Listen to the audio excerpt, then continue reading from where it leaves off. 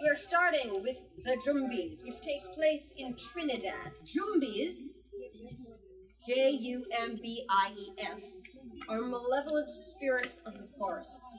Kind of like poltergeists. They're mischief makers, they're not to be trusted, and they're not to be messed with. Corinne, a girl whose home is invaded by a Jumbi. The Jumbi wants her father and her. The Jumbies were here long before the humans. The humans came on their boats made of murdered trees, and they cut down the forests, and they shunned the Jumbies, and they relegated them to the deep pockets of the forests of the island. And the Jumbies are not happy, and they want their island back. You say it like that, I'm trying to sympathize the Jumbies. Yeah, huh? They start to sound kind of sympathetic. This was their home first, wasn't it? It reminds me of the um, Na- um, Native American. to the Jumbies, it's you came to our territory and you call us monsters? They are predators that were there first. They're gonna eat you because you're crunchy and taste good with ketchup, but they were there first. Corinne Lemaire's heart beat like wild drums as she ran through the forest. Her bare feet stumbled over the dead leaves and protruding roots of the forest floor. She strained her eyes in the dappled sunlight to keep track of the small, furry agouti that scampered away from her. The animal ran beneath a bush, and Corinne squeezed down to the damp earth to crawl after it. I'm not going to hurt ya, she said in her calmest voice. She eased closer.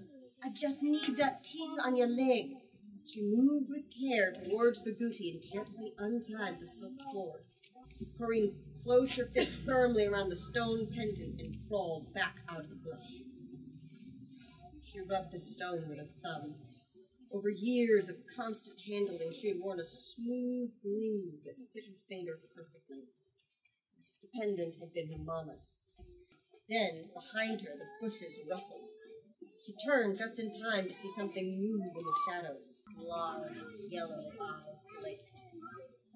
Corinne turned and ran as fast as she could. The thing snarled and rushed after her. Like he burst through the last line of trees onto the dirt road. A large pair of hands grabbed her. Corinne squeezed her eyes shut.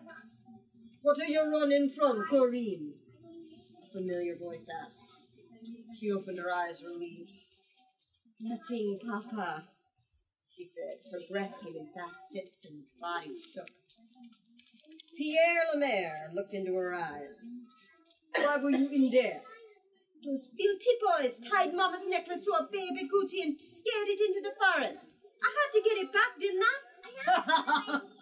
I've raised a hunter. He kissed both her cheeks, but then his face grew serious. You should be old enough to know not to go running in the woods. There are wild animals in the bush, Corinne. The sun is going down. It's time to go visit your mama. Are you ready? Corinne and her father walked away. They did not see the pair of yellow eyes that brought a dim light to the edge of the forest. And once the sun descended beneath the tops of the trees, and the forest shadows lengthened along the road, the Jumbi emerged. They go, and they visit the grave of Corinne's mama, Nicole. Pierre sees a woman he's never seen before. This beautiful woman in a beautiful woman looking kind of sad. Like, Are you lost? Can I help you? And she doesn't say anything. She just shakes her head and walks away. As the voices of the people faded in the distance, the Jumbi moved out of the protection of the shadows. Her eyes reflected the light back as though they were candles themselves. The air rustled against her body. The rustling stopped as she came to the grave by the orange sapling tree. She smelled the scent of the man who had stopped to talk to her. Pierre, they had called him. She was drawn to something in the scent. She had recognized some of that scent on the child earlier. You never came back. Did you give up your sissy for that child? She looks like she has lived for as long as you have been gone. Did they kill you? Or did you die from being separated from us? One is lost, but one is found. A family broken, now made sound. A new one found is probably about the main character. Corinne is of Jumbi blood. To replace her. She's a half human, half Jumbi. Right. Muddy tears flowed down the Jumbi's hollow cheeks. As they touched the ground, they turned into centipedes. When she stopped crying, she rose to her feet and said, Hush, hush now, sister. We will see if we can be a family again. If her sister's a Jumbi, then she's probably mad at her sister for leaving her because she literally said, Why did you leave me? Sort of. And like, she had no idea what happened to her, so she may take it out on her husband and child. Would that mean that the that the mom she just didn't like being a Jumbi in addition to like wanting to be with a human? Nicole left for love, though it might also have to do if she wasn't mm-hmm. happy being a, ju- a Jumbi. Jumbies, no matter how dark they are, are capable of love. That is very important to remember. If the Jumbi kills her father, that might turn her a little bit meanish, and she might turn into her Jumbi form out of rage. So you just figure out that your aunt just killed your father. Is the first thing you would think of, I'm gonna go with her and help her kill No, but- a lot of other people How do we to know get she's her way. What if she makes it look like an accident and manipulates her goes, Oh, come to Auntie, you poor orphan thing. The scent of oranges filled the house as Corinne was gently shaken awake by her papa. Today's the day, he said to her sleepy face. Your oranges are ready for market. Corinne and Pierre had the best soil on the island. It was why Corinne's mom and Nicole had chosen that spot near the forest for their home. She probably still has some kind of connection with the forest where she mm-hmm. lives. She wants to be near her home and her element. And maybe that's why she has the best soil. You are growing up. Your oranges will help you to make your own way, and then you won't need your old papa anymore. Watch your purse in the market, he said. Watch the sea doesn't swallow you up. I have seawater in my veins. Corinne's papa had taught her everything he knew about the sea, but she was not going to be a fisherman. Corinne breathed in the scent of her oranges. She was like her mama. She belonged to the land. Corinne got dressed in some of her father's old clothes. Satisfied that she looked very businesslike, Corinne went out to pick the best oranges to sell. Do people discriminate against her because she's like a tomboy? It doesn't seem to really hinder her at all.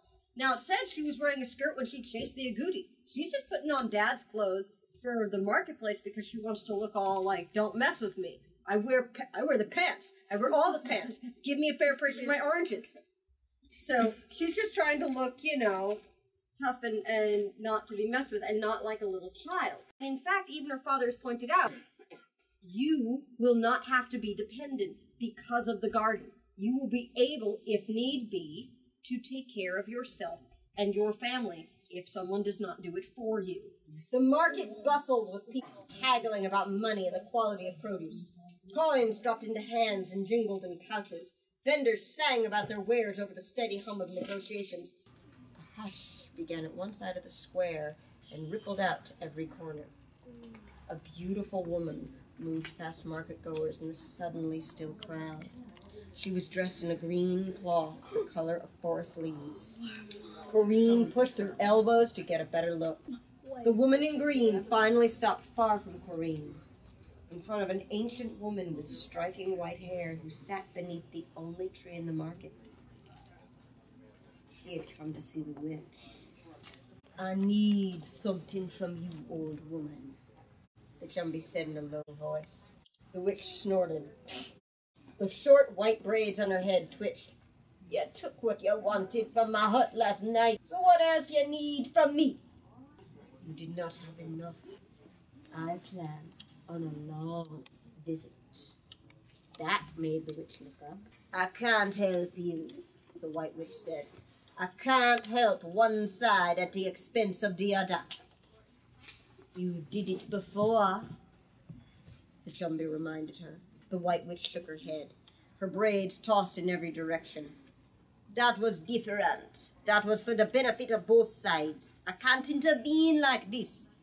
You will help me, old woman. The witch bared the few yellow teeth she had left in her mouth. Go back to the hole you came from. Wait there and see if I will ever help you. The Jumbie turned to leave, but tossed one last thread over her shoulder. You will help me, or you will suffer. It's good, it's creepy, there are Jumbie battles in it.